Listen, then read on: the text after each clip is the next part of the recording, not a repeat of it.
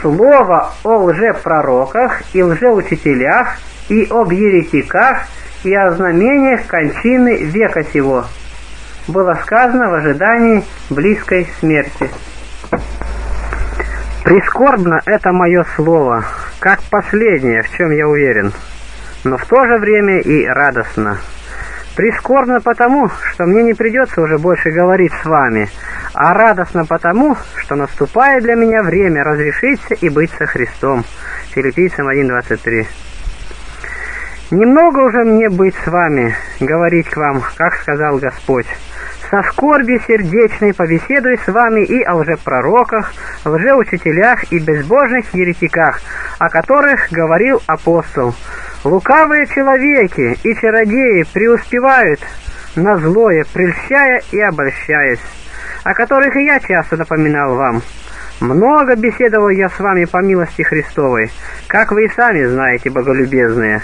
И почти в каждой беседе мы вспоминали о них, если, разумеется, вы помните. Например, то, что говорилось вчера. А, конечно, вы, я знаю, помните, особенно же те из вас, которые любят труд, любят книги, любят Христа. Книголюбец по справедливости может быть назван христолюбивым на основании слова Господа – если кто любит меня, соблюдет слово мое, и любящий меня возлюблен будет отцом моим. Любящий меня получается в законе день и ночь, очевидно в Евангелии и прочих священных писаниях.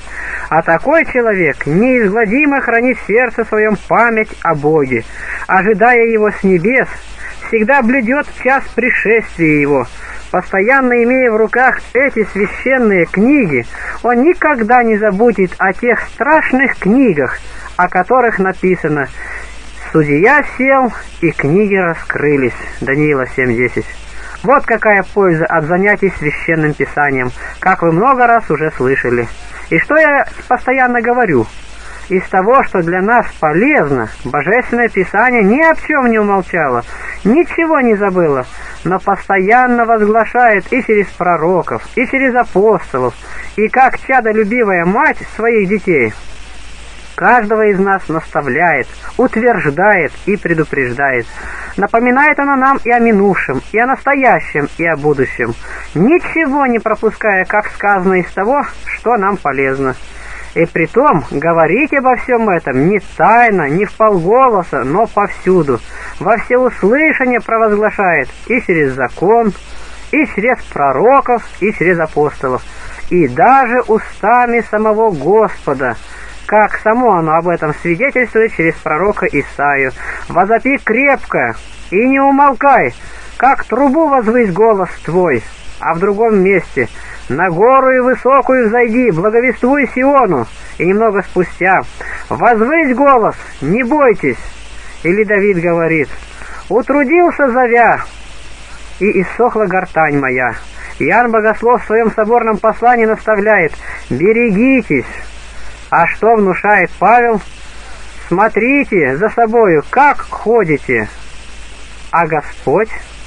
Я ничего не скрыл от вас, и тайно ничего не говорил. А в другом месте евангелист свидетельствует о нем, что он стоял и звал, «Кто жаждет, иди ко мне и пей». Видишь, сколько усилий, сколько старания, сколько ревности в призывании, и никто не внимает. И опять блаженный Павел говорит, «Берегите псов, берегитесь от злых делателей, берегитесь обрезания». Филиппийцам 3.2. «Смотрите, как ходите, ибо дни лукавы». Иоанн говорит, «Смотрите за собой, чтобы не погубить то доброе, что делали, ибо много льстецов вошло в мир». И много подобных наставлений в божественных писаниях Ветхого и Нового Завета, призывающих нас пробудиться и бодрствовать. А мы поступаем наоборот, подобно тем людям, о которых сказал Исаия пророк, «Ушами своими слышат с трудом, и очи свои сомкнули». Исайя 6.10. О, сколько и каких писаний мы, слыша, оставляем без внимания! Зато и безответными останемся мы в день испытания, когда придет просвещающий тайны тьмы и раскрывающий все движения сердец, когда раскроются книги, когда восядет судья, книги, о которых мы ныне слушаем с улыбкой, не желая придавать им значения. Все мы сбились с прямого пути, и каждый блуждает по своей дороге. С нами опять то же, что было прежде, когда ты не владел нами, Господи. И поистине исполнилось на нас пророчество Давыдова. Смешались с языками, привыкли злым делам их. Потому-то мы и унижены по всей земле за грехи наши, и концы век нас достигли, как написано. И пастыри волки, и овцы расхищены, и голод при дверях, не голод хлеба и жажда воды, но голод слышания Слова Божия. Амос 8.11 Однако никто из надеющихся на Господа да не отчаивается. Не унывайте, но постоянно помните о том, кто сказал «Все, я с вами». 697. Будьте спокойны, души праведных Господь не погубит голодом. Об этом голоде говорит Господь через пророка. «Вот грядут дни, я пошлю голод на землю, не голод хлеба, не жажду воды, но голод слышания Слова Божия, и от восхода до запада будут ходить ища Слово Господня. Видишь, о хлебе ли здесь говорится? Бог о хлебе не говорил. О, голод ужасный, душевредный и гибельный! О, голод, навлекающий вечное наказание! Этот голод — виновник всякого дурного дела. Этот голод — корень всякого зла. Этого-то голода наступления провидя, пророк Давыд умолял Бога, говоря, «Боже мой, не отвергнись от меня!» И о благоверных он пророчествовал, говоря, «Избавь от смерти души их и пропитай их во время голода». А в другом месте он говорит, «И в одни голода насытятся» или «Милостив и щедр Господь, пищу дает боящимся Его». Эти слова Давыда относятся к тем, которые усердны в изучении Писаний. Они голода не будут испытывать. Будем же исследовать Писание, чтобы не коснулся нас грядущий душепагубный голод. Будем усердны к Писаниям, чтобы не заблуждаться и не увлекаться всяким ветром. Нерадивым Писаниям говорит Спаситель. Заблуждаетесь, не зная Писания. Подлинно, таковые и заблуждаются. И откуда произошел этот душепагубный голод? Разве не от того, что не исследовали Писаний? О, скольких благ лишаемся мы, оставляя Божественное Писание! Недаром Господь повелел изучать их. Изучай тщательно, изучай и ищи, и найдешь великое неоценимое богатство, найдешь сокровище, зарытое в поле. Уразумеешь Божественное Писание. Изучай и найдешь, а нашедший продай все, что имеешь, и купи то поле. Прекрасное познание святых писаний, в которых скрыт сын. Истинная мудрость отчая, а нашедший его блажен будешь, как написано. Блажен человек, который найдет премудрость. Притча 3.13.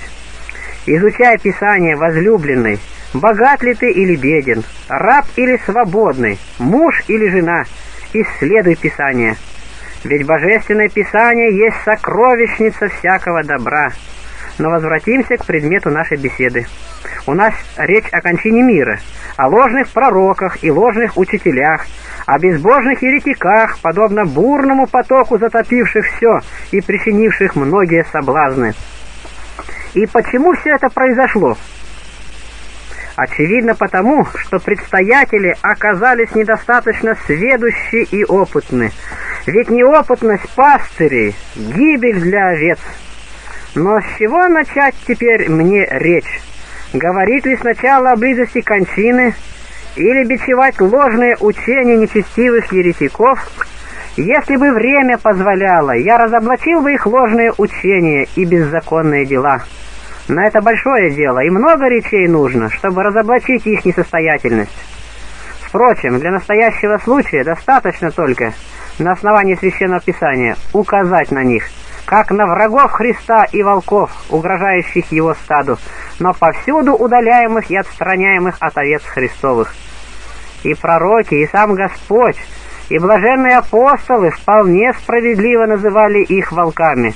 И не только волками, но и заразой, и нечестивыми, и противниками, врагами, коварными, хулителями, лицемерами, ворами, разбойниками, гнусными, лжепророками и лжеучителями, вождями слепыми, бродягами, злыми, антихристами, соблазном, сынами лукавого, плевелами, безбожными, духоборцами, хулителями духа благодати, коим не отпустится ни в этом веке, ни в будущем. Их ради и путь истины хулится. В довершении всего они — дети лукавого дьявола, как говорит богослов. Через то ясно, что они — чада дьявола. 1 Иоанна 3.10 Итак, нужно сперва им посвятить несколько слов, а потом поговорим и о кончине. Мы наблюдаем кругом себя немало таких явлений, которые указывают на близость конца веков, по выражению апостола. Настали трудные времена, умножилось беззаконие, иссякла любовь многих. Появилось множество обольстителей и еще больше обольщаемых. Раскроем же священные книги, отыщем в них путь истины. Пойдем по нему, поспешим к святым горам, я разумею пророков и апостолов, чтобы не заблуждаться и не носиться всяким ветром учения по лукавству человеческому, по коварству обольщения. Не будем оставаться внизу, но вместе со святыми учениками Христовыми взойдем на блаженную гору и услышим пастыря нашего говорящего, «Смотрите, чтобы кто не прельстил вас! Смотрите, ибо много придет обольстителей, берегитесь всюду». И Иоанн говорит подобное, «Наблюдайте за собой, чтобы не погубить, что доброе сделали». И Павел, «Берегитесь псов». Смотрите, как ходите. Эти увещания, блюдите, берегитесь, повторяется не с иной какой-нибудь целью, как с той, чтобы предупредить и обезопасить нас от тех, которые под овечьей шерстью скрывают в себе волков и обольщают беспечных. Очевидно, настоятельная нужда была в том, чтобы повсюду в Писании повторять «берегитесь», «смотрите», «бодрствуйте», Будьте внимательны не только к себе самим, но и ко всему стаду. Ни о чем ведь не умолчало Божественное Писание из того, что нам полезно. 698. Я не могу удержаться от слез, когда слышу, как некоторые из принадлежащих к нашей церкви говорят, что этого не сказано в Божественных Писаниях.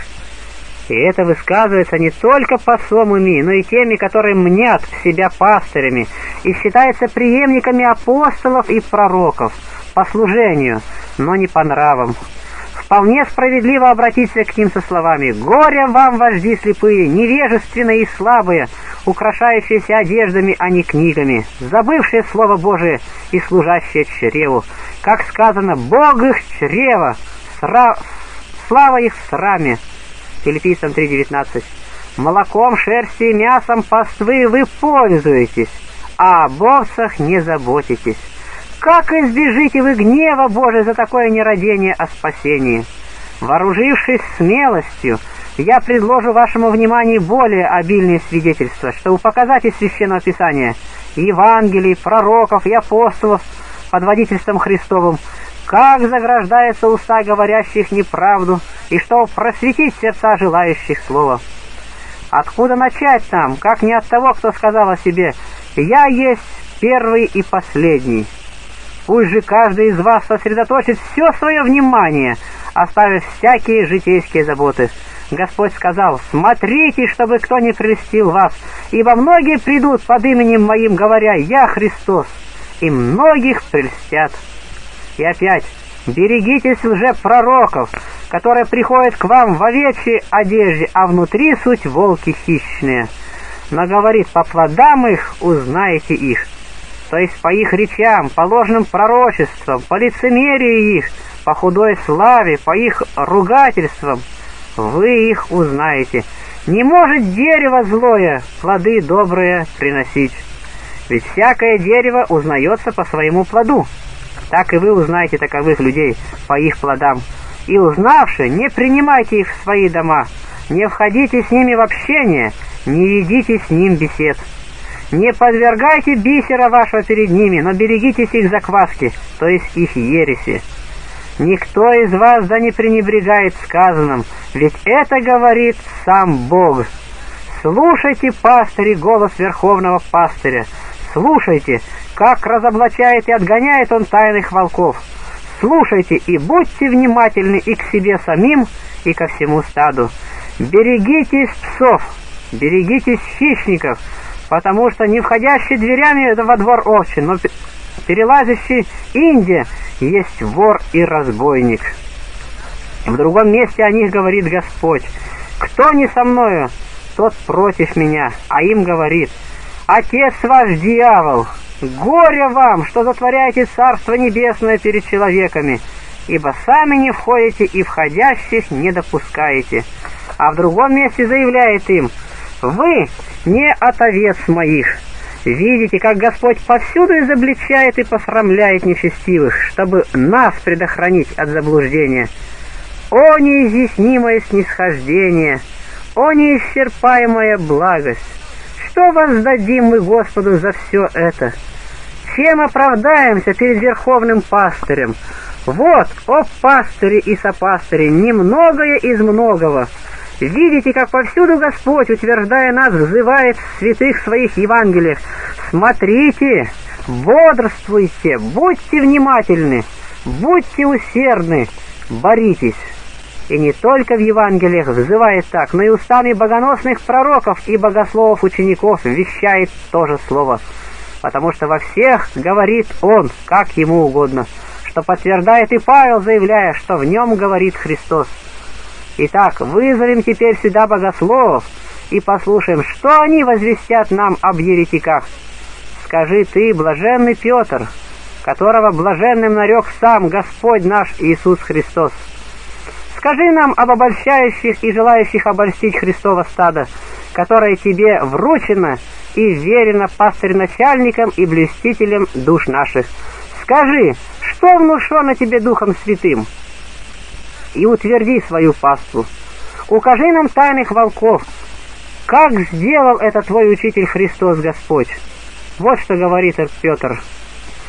Многие придут, развратители, в последние дни, наглые ругатели, поступающие по нечестивым своим похотям. И опять, у вас будут лживые учителя, которые внесут пагубные ереси, отвергаясь искупившего их владыки и многие последуют их разврату. Путь их — погибель. Они чада клятвы, оставившие правый путь. Вот что возвестил Петр, воистину блаженный Петр. Петр — камень веры, на котором создал Христос свою церковь. Петр — распорядитель ключей Царства Небесного. Петр, ходивший по волнам, как по суше, горячо любивший владыку Христа — поразивший в Риме Симона Волхва, как глава и первый защитник веры, первого разбойника и ученика дьявола в ересях. Апостол Иоанн сказал, «И через то обнаружится, что они — дети дьявола. Видите, как во всех их говорит Христос». Ведь и сам он в Евангелии сказал подобное же. «Вы имеете отца вашего, дьявола, Знаю я многих, говорящих в защиту еретиков, что и их создал Бог. Помимо Бога, говорят, ничто не может быть. Не разумеют они ни того, что говорят, ни того, на чем утверждаются. Что каждого из нас создал Бог, этого не отвергаю вместе с ними и я. Но Он создал нас на дела благие, чтобы мы в них совершенствовались и делались чадами Божьими по правой вере. 700. Но возвратимся к предмету нашей беседы. Ян говорит, «И ныне много явилось антихристов». И опять, «Смотрите за собою, чтобы не погубить доброе, ибо много придет в мир льстецов». Возлюбленные, не всякому духу верьте, но испытывайте духов, от Бога ли они, ибо придут много лжепророков. В другом месте Если кто приходит к вам и не приносит всего учения, того не принимайте в дом и не приветствуйте его. И опять, всякий приступающий и не пребывающий в учении Христовом не имеет Бога. Так наставляет нас Иоанн. Иоанн, сын грома, возлюбленный более всех святых, утвердивший церковь от конца до конца, вселенной и заградивший уста еретиков своим богословием. А Яков сказал, «Кто хочет быть другом миру, тот становится врагом Божьим». Слушайте все вы, разделяющие с еретиками трапезу. Этот горький для вас приговор. Вы враги Христу. Самом деле, кто дружит с врагом царя, тот не может уже быть другом царя. Он не заслуживает даже и жизни и осуждается на все худшее. Иуда Яковлев сказал, «Пришли многие человеки, издревле предуготованные к осуждению нечестивые, отметающие благодать, и прилагающие в скверну, единого владыки Господа нашего Иисуса Христа, отметающиеся. Иуда 1.4. И далее. Последние времена явятся наглые ругатели, поступающие по своим нечестивым похотям. Они без боязни будут пребывать с, на, с вами на пиршествах, облака безводные, всяким ветром носимые, звезды блуждающие, которому готовен мрак вечной погибели так еще сильнее поучает нас славный Иуда. Остается теперь, наконец, Павел, сосуд избрания. Скажи нам и ты по благодати, данной тебе от Бога. Скажи нам о настоящем веке лукавом. Разоблачи тайных волков, обличи и посрами расхитителей святого стада Божия. Вот что говорит Павел. «Знаю, что под шествием моем войдут к вам лютые волки, не щадящие стадо». Деяние 20-29. Видите, повсюду богословы, согласно с учителем своим, именуют безбожных еретиков собаками и волками. Так и в другом месте говорит Павел, «Берегитесь сов, берегитесь злых дел делателей, берегитесь обрезания, берегитесь, чтобы кто не прельстил вас философию по человеческому обольщению, берегитесь, ибо ходите среди опасностей и дни лукавых». После таких увещаний кто может оправдаться в своем нерадении? И опять в другом месте. Еретика человека после первого и второго вразумления отвращайся. И еще, в научении странные, различные, не прилагайтесь. И еще, еретики, человеки будут преуступать на худшее, преуспевать на худшее, прельщаясь и прельщая. И еще, оскверненным и неверным нет ничего чистого. Слушайте же вы, разделяющие с ними вечери любви, как избежите вы гнева, грядущего на вас, вы, оскверняющиеся с ними в пище и питье? Как осмелитесь приступить к божественным и страшным тайнам? Разве не слышали вы блаженного Павла, взывающего? Не можете пить чашу Господню и чашу бесовскую, не можете быть участниками трапезы Господней и трапезы бесовской. Выйдите от среды их и не прикасайтесь к нечистоте. Убедил ли я вас? Или труды мои были напрасны, я говорил на ветер? Впрочем, ради тех, которые охотно и усердно слушают наставления и их исполняют, я не остановлюсь и буду продолжать словами Павла. Скажу опять тоже, слушайте. Не подклоняйтесь под их ермо вместе с неверными. Какое общение у света с тьмою? Где дерзкие, утверждающие, что не говорится этого в божественных писаниях? Где они, у которых Бог чрево и слава их в сраме, они мыслят о земном? Так поучает, наставляет и увещевает нас Павел, сосуд избрания, ограда церкви, победоносный борец. Павел, боговещанная лира — вестник Христов, списатель догматов, труба слова, оратор благочестия, сеть, уловлявшая язычников. Вот что и еще больше говорили о безбожных и неверных блаженные богословы апостолы. А гораздо раньше их то же самое говорили пророки. Необходимо выслушать и этих последних. Так пророк Давид говорит, нет в устах их истины. И еще, не ненавидящих ли тебя, Господи, возненавидел, и о врагах твоих истаял. Совершенной ненависти ненавижу их, враги они мне. Соломон говорит, что нечестивые лицемерно прикидываются благочестивыми, а в другом месте наставляет «Сын мой, не прельщайся, и да не прилепится к тебе муж нечестивый, и не иди в путь с ними». Исаия же пророк, вернее Господь через пророка, говорит, «Сына родил я и воспитал, а они отверглись от меня». А в другом месте, «Нет радости нечестивому, говорит Господь, нет мира». Недостаточно ли этого? Нужно ли приводить свидетельства еще и других пророков? Для расположенных слушателей, я думаю, достаточно и этого. А кто теперь не оказал внимания слову, того не убедит и более подробное изложение. Остановимся немного еще только на словах пророка Давыда и посмотрим, как он обличает и посрамляет их скрытое коварство, говоря «Нет у них истины в устах, сердце их суетно» и так далее. Заметьте мудрость пророка, как он обличает и посрамляет заблуждающихся, чтобы предохранить нас от заблуждения. Послушайте, православные, и не потворствуйте еретикам. Послушайте, пастыри, и устрашитесь. И не молчите, но проповедуйте слово, не давайте места дьяволу, не открывайте двери волкам. Подражайте блаженному апостолу Петру, как он в Риме, когда треклятый Симон богохульствовал и утверждал про себя, что он есть сила Божия, не промолчал и не пропустил но тотчас же обличил его и показав, что он обманщик, разбойник и противник Богу, не свергнул его с высоты, предав его гибели. Подобным образом и сына его, или вернее сына дьявола Монтана, скверного, нечистого и безбожного, с его двумя блудодейцами, апостол решительно обличил и привел в мол молчанию, доказав, что он противник Богу, лже-Христос и лже-пророк заградил его нечистые уста именем Христовым, не великодушествуя и не потворствуя его богохульству. Большую ошибку допустил здесь автор, кто бы он ни был, утверждая, что Монтан был облечен апостолом.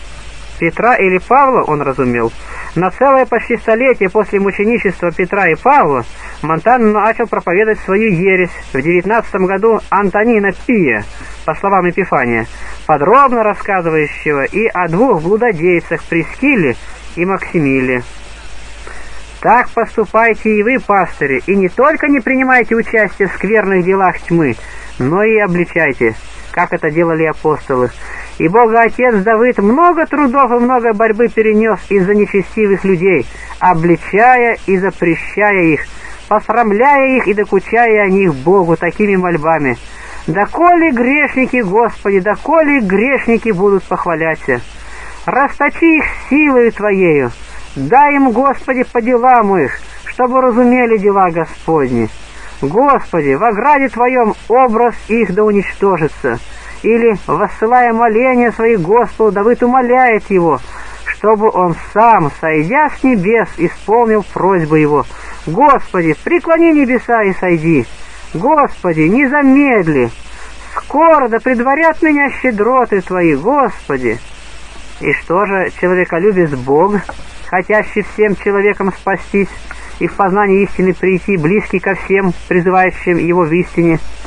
Он не презрел, и не оставил тщетными мольбы святых, но преклонил небеса и сошел, и все устроил для спасения рода нашего, всему научил нас и словом, и делом. Так, желая научить, как будущие предстоятели церквей должны относиться к еретикам. Он сделал бич из веревок, и, войдя в храм, изгнал всех оттуда, вытолкал, и преследовал их со словами «Храм мой, дом мой, домом молитвы наречется, а вы же его сделали вертепом разбойников. Слушайте же, предстоятели церквей, прекрасный образец для подражания дал вам Спаситель. Последуйте стопам его, неусыпно и бдительно охраняйте свое стадо и отгоняйте от него волков. Затем, изгоняя вон всех, очевидно противомыслящих, и придвигая конец, истребления и уничтожения всех противомыслящих в будущих родах, он сказал «Все оставляется дом ваш пуст». Видишь, как оправдались его слова. Враги и недоброжелатели церкви, то есть еретики, в каждом поколении предавались гибели по слову Господа, сказанному им. «Всякое дерево, которое не Отец мой насадил, небесный, искоренится». Что и сбылось. Именно он сам первый сделал это и показал пример. А после его вознесения на небеса, блаженные апостолы, по его примеру, вели борьбу с противниками церкви. После же них и учители церкви, и святые соборы, бывавшие по временам, утверждая их божественное учение, всех упорствующих в ересях искореняли и предавали гибели, по написанному «погубил всех, говорящих ложь». Так, все они и погибли за беззаконие их. В самом деле, где теперь те, которые некогда ратовали против церкви? Цари, властители и мудрецы.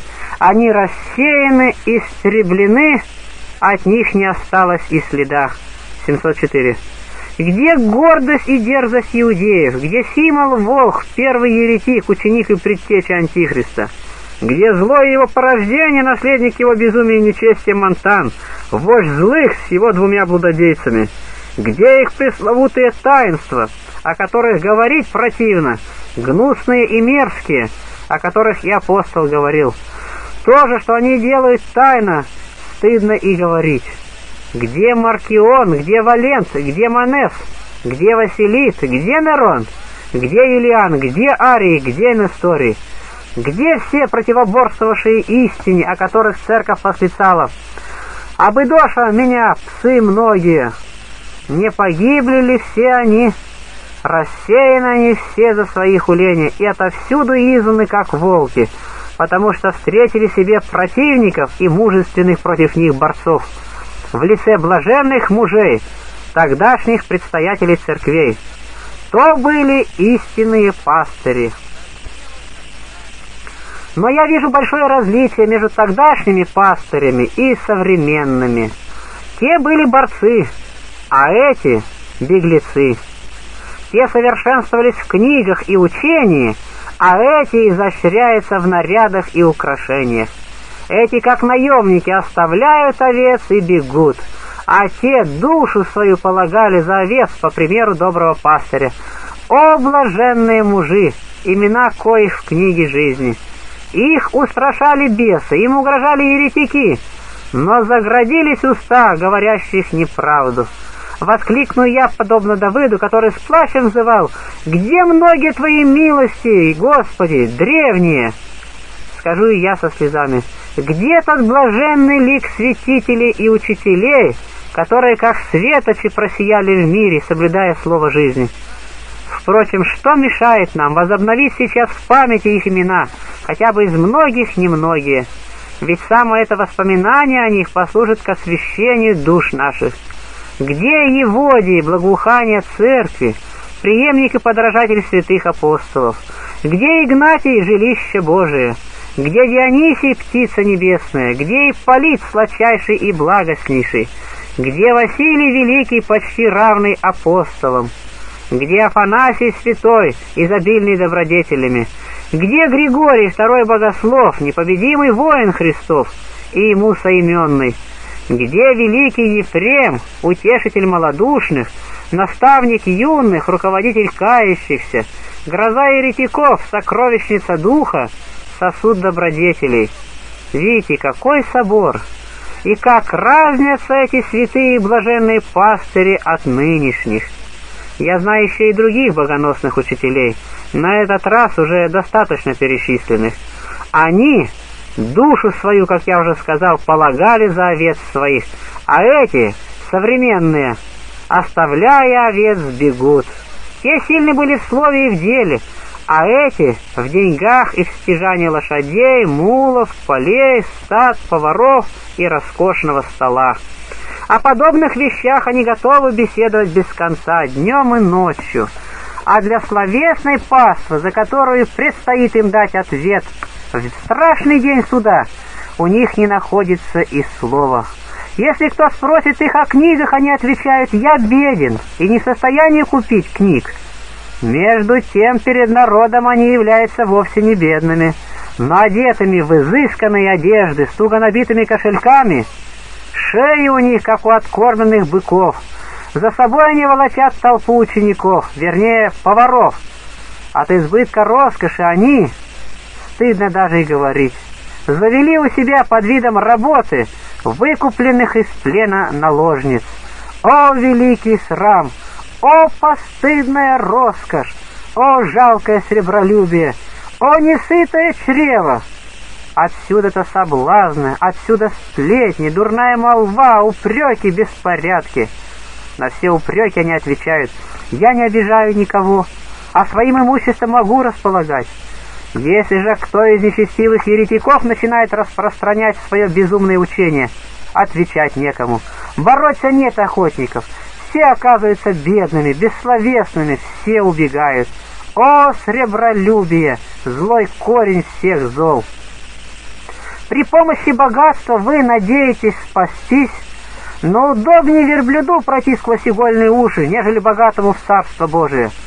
Утопая в роскоши и пьянстве, превозносясь гордости, вы хотите победить ереси, но горе вам изнеженные и щеголяющие, сластолюбивые, в золоте изысканных нарядах. Как другим вы покажете прекрасную бедность Христа ради нас обнищавшего и заповедавшего ученикам своим не иметь и меди в поясах? Матфея 10.9 Вот именно прельщаетесь вы, не разумея Писаний. Не слышите разве вы Господа говорящего, блаженны нищие, и еще горе вам богатым, и не скрывайте себе сокровища на земле. Богатство ваше умножилось, а слово оскудело. Одежды ваши тленны, о них ли дадите вы ответ пастыре начальнику Христу? Ведь вы знаете, что каждый из нас даст ответ Богу о себе самом, а вам, архиереям, иереям и дьяконам, предстоит ответ и о себе, и об овцах, сколько каждому верено. Смотрите же, не забудьте веренных вам талантов, внимайте себе и всему стаду.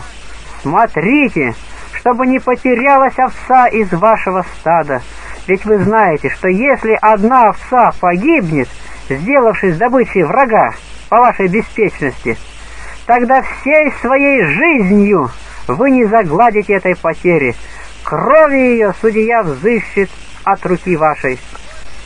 705. Опомнитесь же, наконец, примитесь за проповедь слова, отбросьте всякую житейскую заботу, будьте строго внимательны к своему делу, берегитесь псов. Опять говорю, блюдитесь, берегитесь, и не перестану говорить. Берегитесь хищников, берегитесь, потому что много обманщиков действует ныне в мире. Бодрствуйте неусыпно вы, которым верены дары благодати Господней. Бодрствуйте, чтобы не застал вас спящими час страшного пришествия Господа, когда придет Он потребовать от вас отчета в тех талантах, которые вам были верены. Имея это в уме, возлюбленные, пасите Божие стадо, как говорил апостол, непринужденно, но добровольно, не ради корысти и неправедных прибытков, но усердно, и не господствуйте над стадом, но подавайте пример, ожидая явления пастыря-начальника, и тогда примите от него неувидаемый славы венец. Опять повторю то же самое. Слушайте, иереи Господни, цари земные все люди, князи и все судьи земные, юноши и девы, старцы с младенцами, Послушайте все живущие по вселенной, великие и малые, мужи и жены, вместе богатые и бедные. Умоляю вас, выслушайте внимательно мои слова.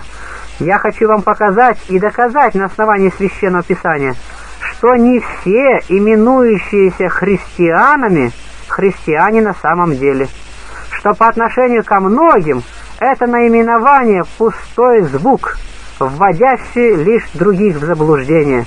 По названию христиан много, а на деле очень немного. Иные по виду как будто и христиане, и ученики Христа, а по характеру предатели.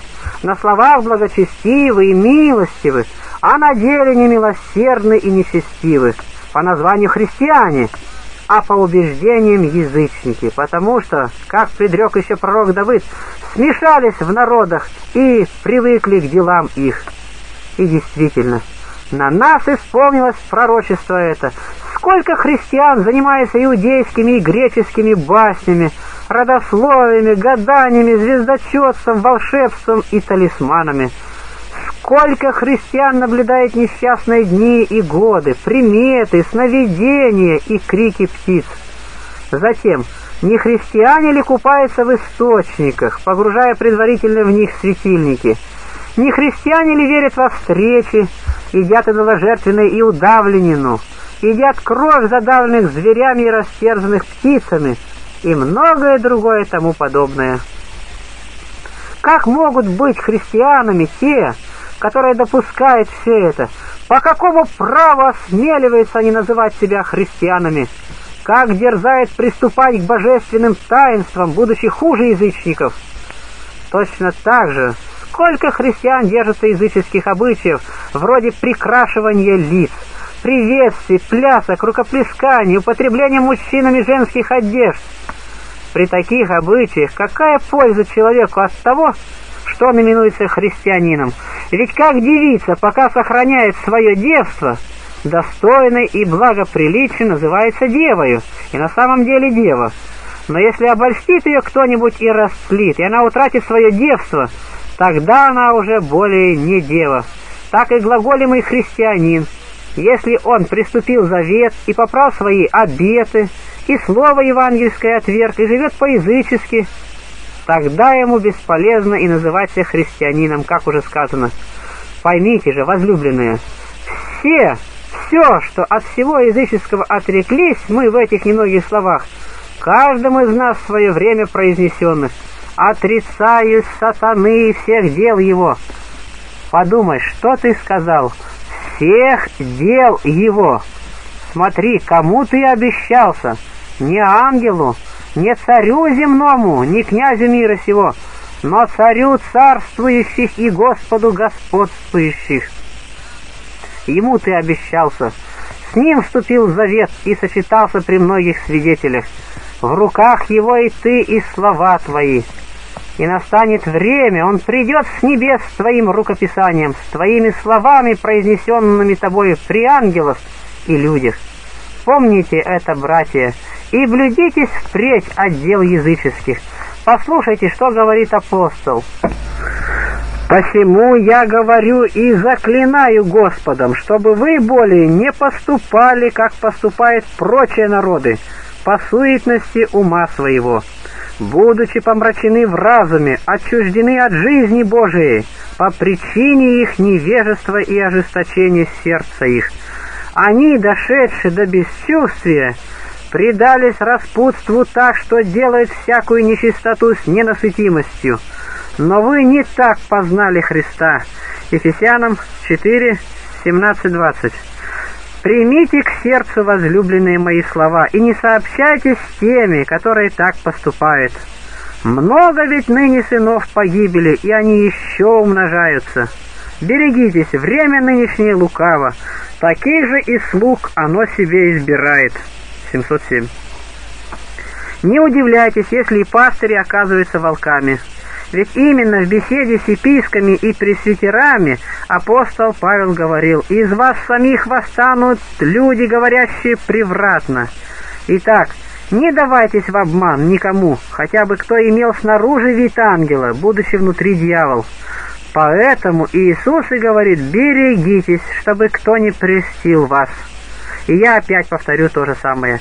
Берегитесь от соблазна, откуда бы он ни шел, от чужих ли или от своих, или кто бы ни был тот, кто говорит развращенное, епископ ли, пресвитер ли, диакон ли или чтец, из тех же, которые приходят вам в одеждах овечьих, а внутри суть волки хищные, которые имеют образ благочестия, силы же его отверглись. Вы же, возлюбленные, не вдавайтесь в заблуждение, но как приняли Господа нашего Иисуса Христа, в нем и пребывайте, и Бог мира будет с вами. Но об этом я уже говорил довольно. Побеседую еще немного о признаках кончины мира, и тем заключу свое слово. Как только начинаю я говорить о кончине мира, ужас объемлет меня, и я теряюсь. Конечно, все дела Господни удивительны, велики и страшны, и славны, но конец мира и таинство второго пришествия Господня превосходят всякое слово, всякий ум, всякую мысль, не поддаются изображению и поражает всякий слух. Велико было желание учеников услышать от своего учителя о признаках кончины мира, и немало усилий было ими сделано с этой целью. Вы не один раз слышали евангельское повествование о том, как Иисус сидел на горе Илионской, и приступили к нему ученики его наедине, говоря, «Скажи нам, какое знамение твоего пришествия и кончины века?» Матфея 24.3 Заметь благоразумие учеников. Когда они хотят спросить Господа о чем-нибудь важном, они не все вдруг обращаются к Нему, но поодиночке и говорят один говорит «Скажи нам, Господи», другой «Скажи нам, благи», иной «Скажи нам, сердцеведец», иной «Скажи нам, ведущий начало и конец», «Скажи нам, ведущий все прежде его осуществления», «Скажи нам, Творец веков», «Скажи нам, Отец будущего века», «Скажи нам, какой признак твоего пришествия и кончины века?» Когда ты придешь судить живых и мертвых, всей вселенной, когда упразднишь всякое начало, всякую власть и силу, когда преклонится перед тобой всякое колено небесных и земных и преисподних, скажи нам, какой признак твоего пришествия, чтобы и мы могли поведать людям о твоем поразительном явлении.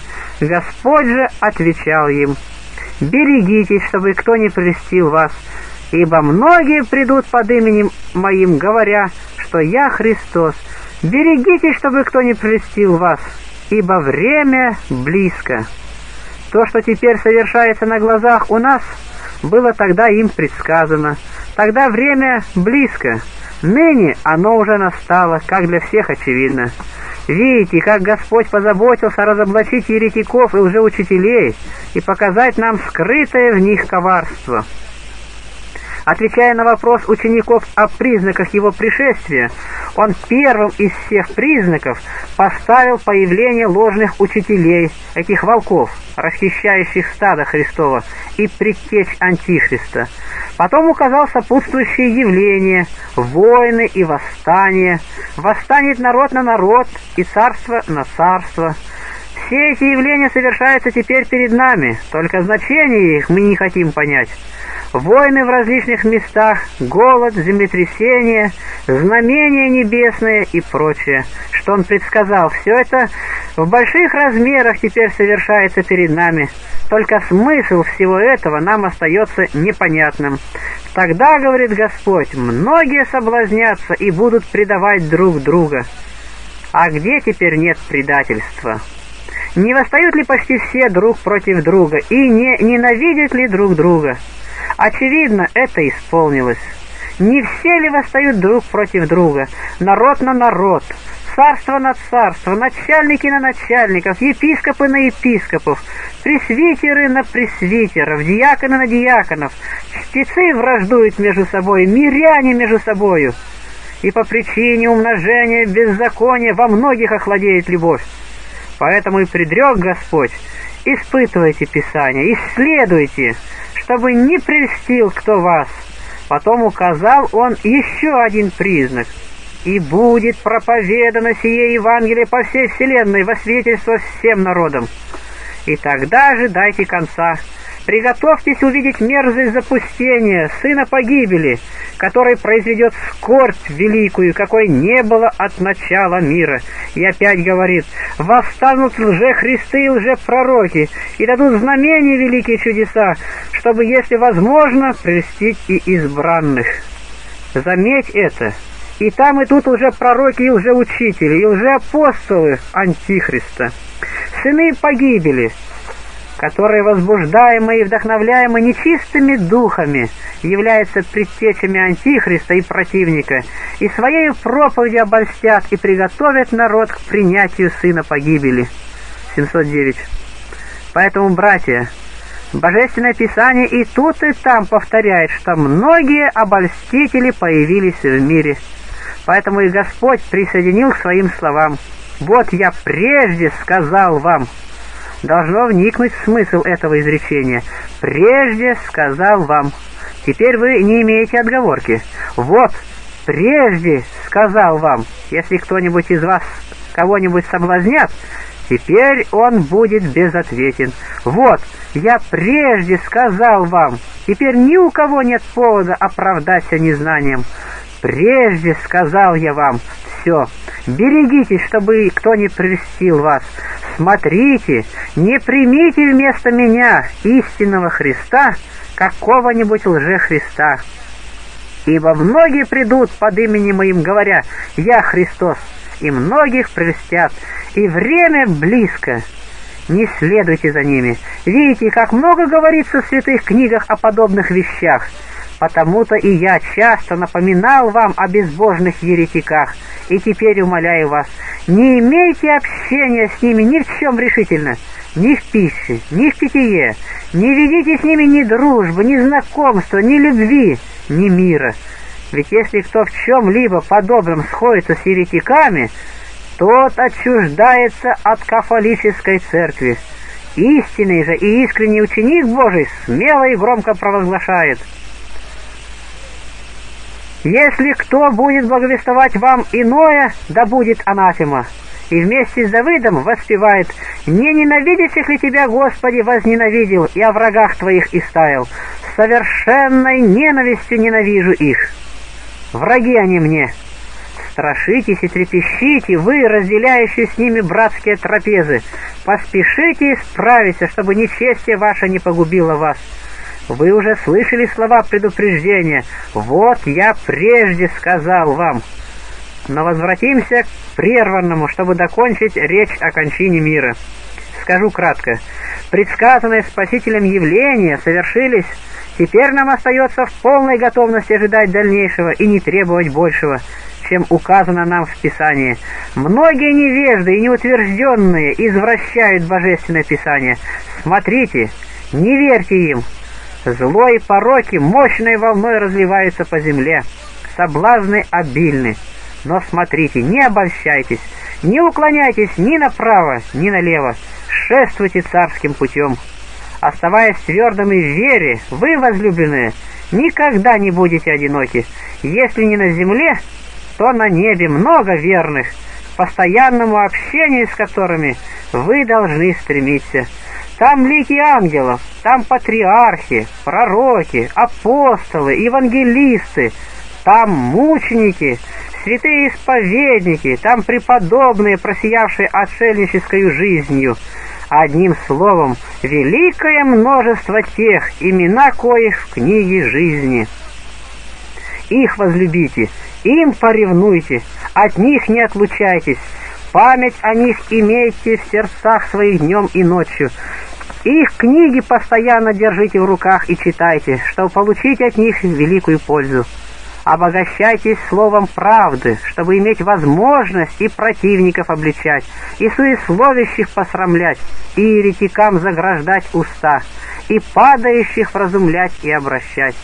Вникайте в Божественное Писание, чтобы в случаях смущения и замешательства вам не теряться, но в Божественном Писании находить твердую опору.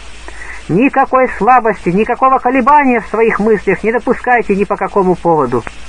Если вы увидите многих неразумных, не удивляйтесь. Так должно быть. Если появится много лжепророков, вспомните слова Господа, ибо восстанут лжехристы и лжепророки. Появятся обманщики. Вспомните, что говорил пророк. Горе тем, которые постановляют несправедливые законы и пишут жестокие решения. Исайя 10.1. Если увидите, что честные, верные и разумные уничижаются, а порочные и гордые, предатели и блудники, пользуются успехом и благоденствуют, то вспомните сказанное апостолом. Злые же люди и обманщики будут преуспевать во зле, вводя в заблуждение и заблуждаясь. 2 Тимофею 3.13. Если увидите, что некоторые мнимые христиане гнушаются божественным писанием, а тех, которые проповедуют Слово Божие, ненавидят, вспомните, что сказал Господь. «Если мир вас ненавидит, знайте, что меня прежде вас возненавидел. Если меня изгнали, будут гнать и вас». Иоанна 15, 18, 20. Если увидите, что народ сбегается к обманщикам, тайновещателям, гадателям, что распространяется учение бесовское и вопрошание нечистых духов, не смущайтесь, не впадайте в уныние. Даже при виде того, что кто-нибудь из мнимых пастырей занимается подобными делами, не отчаивайтесь. Но хотя сквозь слезы вспомните слова апостола, что в последние времена отступят некоторые от веры, внимая духам обольстителям и учениям бесовским, нечистым. 1 Тимофею 4.1.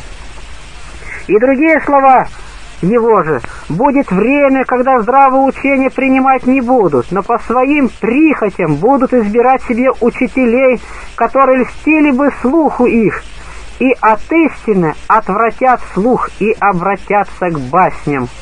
2 Тимофею 4.3, 710. Когда увидите роскошные пиры со всеми их наслаждениями, ложью, шумом и беспорядочными кликами, вспомните слова Господа.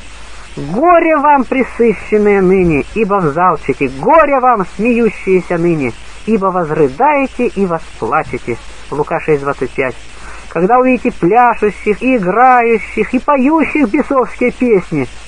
Плачем и рыданием вспомните слова Давыда. «Не познали, не уразумели, во тьме ходят». Псалом 81.5. И пророка Исаию, который говорит в пятой главе 11 и 12 стихи. Горе тем, которые с раннего утра ищут секеры и до позднего вечера разгорячают себя вином. И цитра, и гусли, тимпаны свирель, и вино на пиршествах их, а на дела Господа они не взирают, и одеяния рук его не помышляют. И вообще, при виде всякого совершающегося соблазна, помните слова Господа — Горе миру от соблазнов, ибо невозможно не прийти соблазном. Но горе человеку тому, через которого приходит соблазн. Лука 17.1. Но что говорят эти люди, жестокие сердцем, преданные лжи? Нет, говорят, зла в развлечениях. Что вредно в игре на цитре или на чем-либо подобном?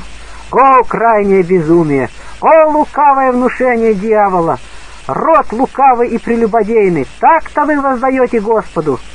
Пречистый Господь повсюду заповедал, чтобы христиане совсем не касались развлечений, а ты говоришь, какой вред от развлечений. Горе, называющим горькое сладким и сладкое горьким, и свет тьмою.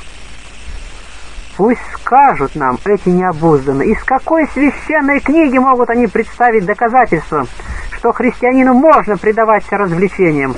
Какие святые, какое Евангелие научило христиан так непристойничать?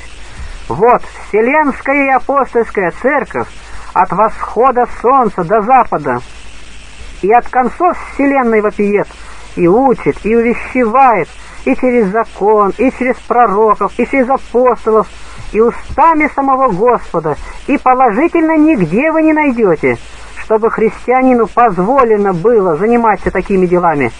Сколько царей и властителей, и мудрецов, и благородных, и славных, и законников, и рабов, и свободных, и бедных, и богатых, и старцев, и юношей.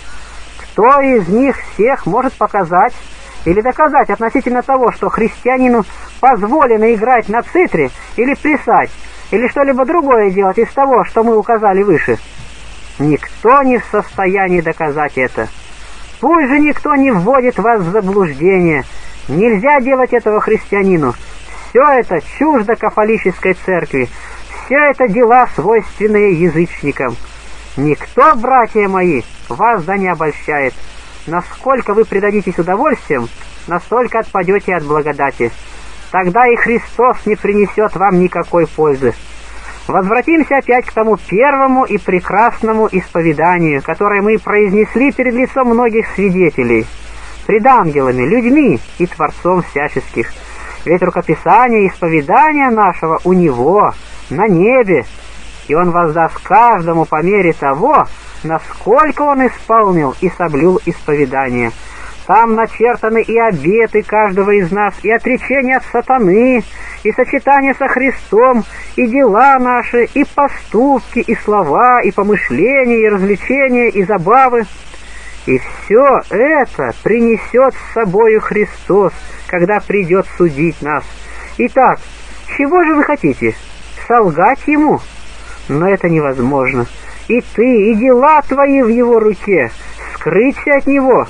Но и это невозможно, так как в его руке все концы земли, и нет твари, сокрытой от него, и все ногое и обнаженное объявится пред очами его. Укрыться от лица его нет никакой возможности.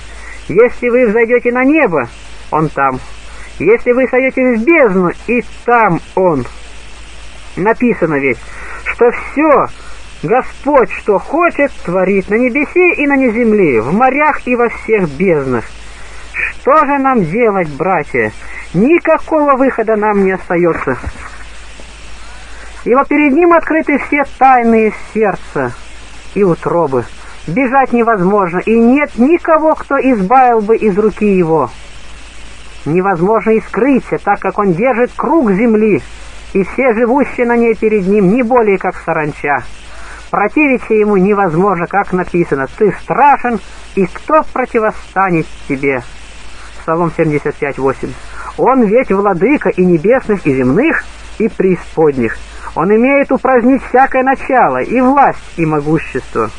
Оправдаться пред ним чем-нибудь, найти какую-нибудь отговорку или извинение невозможно» потому что от конца земли и до конца Божественное Писание и вопиет, и убеждает, и обличает, и вразумляет, и свидетельствует, и угрожает. Потому и говорит Господь наш, отвергающийся меня и не принимающий слов моих, я не сужу его, но слово, которое говорю, оно будет судить его в последний день. Иоанна 12.48.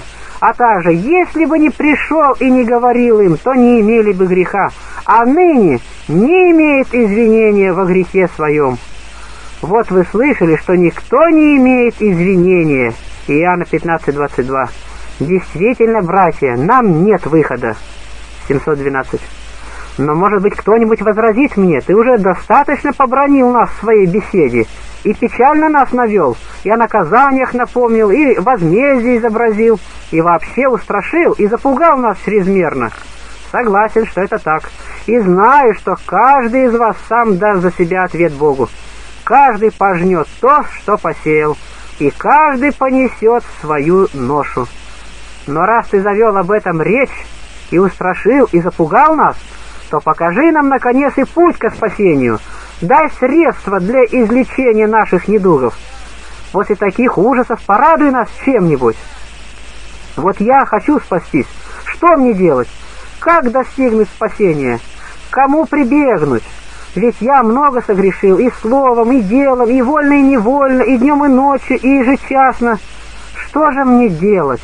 Где искать спасение? Кому прибегнуть? Я скажу тебе, к кому прибегнуть.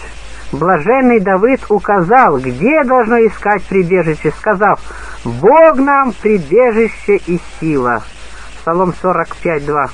Это показал и Иоанн, больше всех пророков, говоря, «Вот агнец Божий, который берет на себя грех мира». Иоанн 1.29. Это же возвестил и ангел. Он спасет людей своих от грехов их. И опять пророк Давид говорит, «Господи, к Тебе прибегаем». У него и ты ищи прибежище, у того, кто сказал, «Не пришел призвать праведников, но грешников к покаянию». Кто сказал, «Не требует здоровые врача, но больные»? Кто сказал, «Покайтесь, приблизилось Царство Небесное»? Кто сказал, «Придите ко мне, все труждающиеся обремененные, я успокою вас»? Кто сказал, власть имеет Сын Человеческий на земле прощать грехи? Кто сказал, грядущего ко мне не изгоню вон? Кто через пророка сказал, живу я, не хочу смерти грешника, но чтобы обратились и живы были? Иезекииля 33.11 Кто сказал, что он сотворит? Отметающих, вопиющих к нему день и ночь. Кто сказал, радость бывает на небесах и об одном грешнике кающемся? К нему прибегай с покаянием и слезами. Покайся и не сомневайся, покайся и не унывай более. Не отчаивайся в своем спасении. На небе радость, когда ты каешься, а ты медлишь. Ангелы ликуют, а ты понурил голову. Ради тебя пришел врач душ, а ты скрываешь рану. Он громко зовет, «Обратитесь ко мне, сыны человеческие, придите ко мне!» И ты не спешишь на его призыв. Он восклицает, «Не пришел призвать праведников, но грешных к покаянию». Матфея 9:13. «О, неизмеримое человеколюбие владыки! Не пришел призвать праведников, говорит, но грешников». Итак, дерзай, грешник, и не отчаивайся. Тебя пришел призвать добрый пастырь. Ради тебя преклонил он небеса и сошел со словами «Придите ко мне все труждающиеся». Не пришел я призвать праведников, но грешников. Но смотри, не возомни о себе слишком, слыша о неизреченном его человеколюбии. Не с простым ведь призывом он к тебе обращается, но прибавляет. Не пришел, говорит, призвать праведников, но грешных на покаяние не на забавы, а на слезы, не на пиры и возлияния, а на пост, бдение и слезы, не на пляски, увеселения и услаждение музыкой, а на труд, скорбь и тесноту. Блаженны, говорит он, плачущие и рыдающие, очевидно, о грехах своих. Итак, начни каяться, положи только начало, и Бог кающихся будет тебе содействовать и укрепить тебя ты получишь от него обильную благодать, и она будет для тебя слаще меда и сота. Пути жизни разнообразны, как написано, и способов спасения много. Каким хочешь способом, тем и воспользуйся, только спасайся. Если можешь, раздавай милостыню. Не можешь, Бог не взыщет. Нет у тебя ни хлеба, ни одежды. Встань на колени, ударяй себя в грудь, плачь, рыдай, скорби, простирай руки к небу, возведи очи твои Господу, постись, бодрствуй. Это у всякого в распоряжении, и тут ты уж ничем отговориться не можешь. Постарайся же всегда этими средствами угождать Богу. Впрочем, и ими нужно пользоваться осмотрительно и благоразумно. В противном случае они окажутся бесполезными, а труд твой тщетным. 713. Итак, упражняясь в этих добродетелях и припадая к Богу с покаянием, особенно тщательно наблюдай, чтобы ни с кем не иметь вражды. Этого главного препятствия к достижению твоей цели, но, как сказал апостол Павел, со страхом и трепетом совершайте свое спасение, филиппийцам 2.2, и соблюдая заповеди Христа, гласящую, если прощаете человекам согрешения их, то простится и вам, простит Отец ваш Небесный согрешения ваши. Если молишься Богу от всего сердца, без суеты и рассеянности, соблюдай эту его заповедь и оставь, если что имеешь против кого-либо. Ты хочешь, чтобы тебе отпущены были твои грехи. Прости ты ближнему своему его грехи против тебя. Если не отпустишь грехов брата твоего, и твоих не отпустит Господь потому что он сказал, «Если не отпустите человеком согрешения их, то и Отец ваш не отпустит вам согрешений ваших». Матфея 6:15. И мы знаем все, что он не обманет, потому что он не ложен и верен во всех словах своих. Затем будь готов к тому, чтобы Господь каждый день может потребовать твою душу. Не делай так, чтобы сегодня покаяться, а завтра забыть об этом, Сегодня плакать, а завтра плясать. Сегодня поститься, а завтра упиться вином до такой степени, что и ноги не держит. Сегодня бодрствовать, а завтра пасть. Но заботься о своем спасении так, чтобы быть увенчанным. Будь верен добродетели, не уклоняйся от подвига, чтобы не лишиться венца. Все удовольствия мира сего, его славу, отвергни с ненависти и скажи вместе с Давидом, «Ненавижу ложь и гнушаюсь ею, закон же твой люблю. От всякого злого пути удерживай ноги мои, клялся хранить праведные суды твои». Постарайся же всегда быть готовым, чтобы когда не придет тот, кто потребует душу твою, всегда нашел бы тебя готовым в покаянии. И я ручаюсь тебе, что тогда он не отлучит тебя от части спасаемых. Соблюдай всегда заповедь Господню. Бодрствуйте и молитесь, чтобы не впасть в искушение. И еще, будьте готовы, ибо не знаете, в какой час приедет Сын Человеческий. Матфея 24, 44 тоже внушает и апостол. Непрестанно молитесь. 1 Фессалоникийцам 5.17. Вдумайтесь, что это значит «непрестанно». Это значит всегда, во всякое время и днем, и ночью, и вечером, и утром, и в полдень, и во всякий час, и за работой, и в пути, и в поле, и за сахой, и ложась спать, и вставая от сна. Не откладывай молитву на воскресенье или на праздник, не выбирай для нее место. Божество не ограничивается местом, в руке его все концы земли.